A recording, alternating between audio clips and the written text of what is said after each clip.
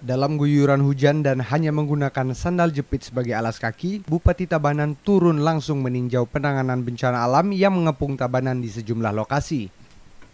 Didampingi sejumlah kepala OPD dan juga anggota DPRD Tabanan, Bupati Tabanan memantau langsung proses penanganan bencana alam saat itu.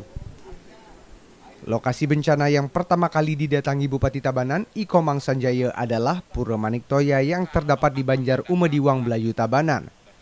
Kemudian Bupati melanjutkan perjalanan ke lokasi tanah longsor di Banjar Palean Desa Luwes serta meninjau tiga lokasi bencana di Banjar Gater Desa Abian Tuwung yang juga menjadi dampak terkait luapan sungai Yesungi.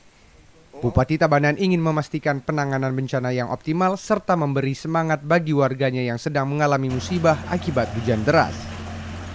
Hari ini memang kita persiapkan untuk langsung melihat secara langsung apa yang terjadi di tengah-tengah kita, khususnya di Kabupaten Tabanan. Tadi perjalanan kita saya awali dahulu dari Kecamatan Semerak Timur. Masyarakat tadi menyampaikan gotong royongnya sangat luar biasa. Tedun, budaya tedun masyarakat gotong royong yang dikumenai oleh Bapak Pradesa, Bendesa Adat, TNI, polisi sangat luar biasa.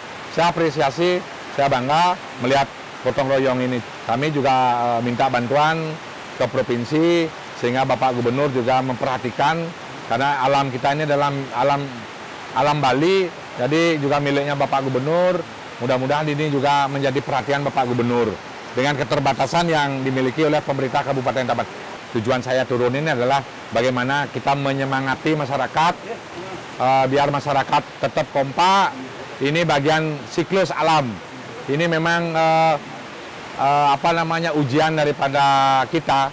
Pemkap Tabanan rencananya dalam lima hari ke depan akan melakukan pemetaan terhadap sejumlah titik yang mengalami bencana alam, serta akan melakukan prioritas penanganan untuk perbaikan infrastruktur yang terdampak bencana. Keprihatinan Bupati Tabanan juga disampaikan saat melihat langsung bencana alam yang merusak pura di wilayah Belayu. Dalam hal penanganan, Bupati juga menyampaikan permohonan maaf kepada masyarakat jika ada perlengkapan petugas yang tidak memadai dalam penanganan bencana kali ini. Tapi Bupati menyampaikan sikap Pemkap Tabanan yang akan segera melakukan koordinasi dengan provinsi untuk bisa bersama-sama memberi bantuan khusus kepada masyarakat yang sedang mengalami bencana selain akan memberi bantuan untuk perbaikan infrastruktur. Agung Kayike, Kompas TV, Tabanan, Bali.